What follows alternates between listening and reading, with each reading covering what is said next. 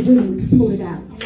And this is what this organization is about, is understanding that all of us are great and we have greatness within. But sometimes because of the challenges of life, you may go through some struggles along the way and you forget who you are and whose you are. But I stand here today in this capacity, letting you know that God is still God and He is God all by Himself. And so sometimes when the challenges come up against you, and whether it be human challenges or it's just natural challenges, understand that there's more with you that are against you. And so I am always reminded not just of David or of, of Elijah or of any of those prophets of old, but I am reminded that only a third of the angels left. And so therefore there's three-fourths that is standing in position.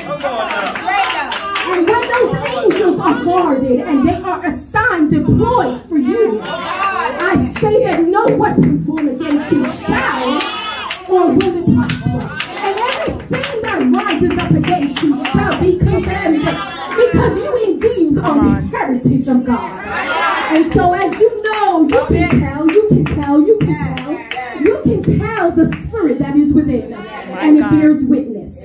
So I am so grateful for the opportunity to be here today. Come on, to preach. let you know that you got one of them on the dais. Hallelujah. Governments and politics, many churches stay away from. But I'll tell you that the whole Bible is about governance. It's the kingdom of God versus the kingdom of darkness. And we, as children of God, have to be positioned.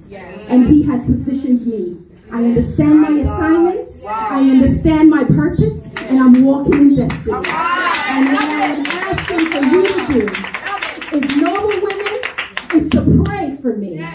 Understand that I keep my feet guarded. And I keep my heels to the ground. And my eyes on God. And not on his hand. Because when you seek his face, his hands will follow. Um, God. Hallelujah. Father, in the name of Jesus. Father, as you have called her, mighty God, to government, Lord God. Father, we pray that she will be the voice that you use to prophesy over the people, to warn them, Lord God, to guide them, to lead and direct. In the name of Jesus, Lord, we ask you to cover her family, cover the role that you have destined for her. In Jesus' name. Amen. Hallelujah. Amen. My God. Amen. Amen. Thank you, Jesus. I just want to thank you both for coming out. Let me tell you, you both are so honorable in the community.